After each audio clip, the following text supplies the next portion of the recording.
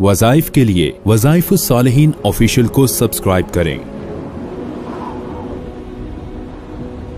वज़ाइफ सालहीन official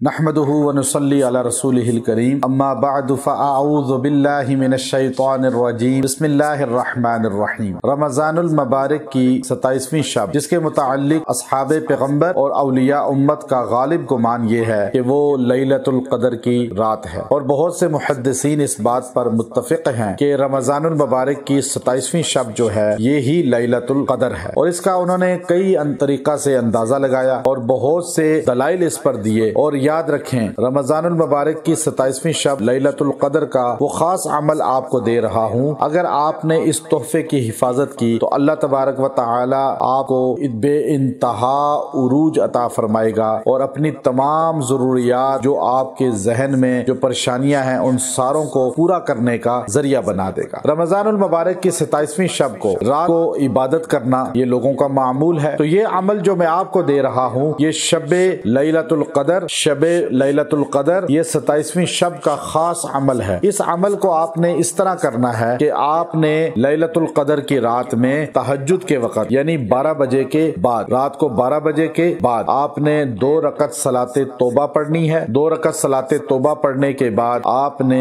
एक हज़ार मरतबा, या जल जलाल वल इकराम, या जल जलाल वल इकराम, इसको पढ़ना है। और सुबह जब सूरज निकलेगा तो इशराक के वक्त जब सूरज निकल निकलता है तो आपने खास ख्याल रखना है कि जब सुबह सताइसवीं शब के बाद सूरज निकले तो आपने सूरज निकलते हुए सूरज को देखना है और सूरज को देखते हुए आँखें उस पर टिकटिका कर यानी सूरज जब निकले फौरी, उस वक्त रोशनी उसकी आँखों को लगती नहीं है और वो मध्यम रोशनी होती है, उसकी शुआएँ होती हैं। आपने उसको देखना है और देखते हुए आपने 111 बार या जल जलाले वाली कराम कहना है, या जल जलाले वाली कराम कहना है। जब आप 111 बार ये पढ़ लेंगे और एक हज़ार बार रात को पढ़ लेंगे तो ग्यारह सौ ग्यारह हो जाएँगे और इसकी बरकत से अल्लाह आपको ऐसी हैबत देगा, ऐसा रोब देगा कि आपके सामने कोई ऐसा नहीं होगा जो मरऊब ना हो। अल्लाह आपकी आँखों में रोब रख देगा, चेहरे में रोब रख देगा, आपकी जबान में रोब पैदा कर देगा और आपको मखलू का मखलू का महबूब बना देगा। आपको तस्खीर खलाइक का ये सबसे मुजरब अमल है। आपने ये अमल किया, फिर आप जिधर जाएँगे,